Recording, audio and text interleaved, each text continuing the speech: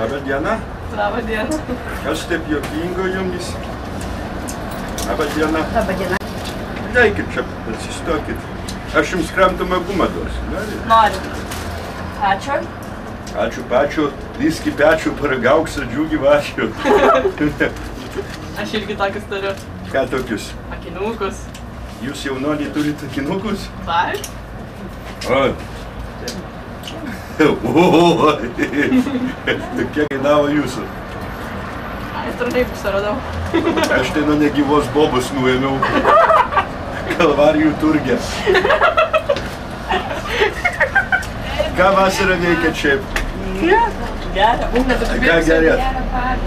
Nusipirk vieną. Alų gailitą. Nereikėtų alaus gerti. Nuo jo pučia vidurius. Geriau degtinė. O, teisingai. Samanė, ne? Savainė degtinė gerai nuo kirmelių. Pas manęs kirmelių tuntai. Ir geriau pusę buonkės viską. Iškakoju visas kirmelės. Ką perkat? Pasirodo, kad nieko. Nieką. Ugnyt. Nu, maloniai pabendravom jumis.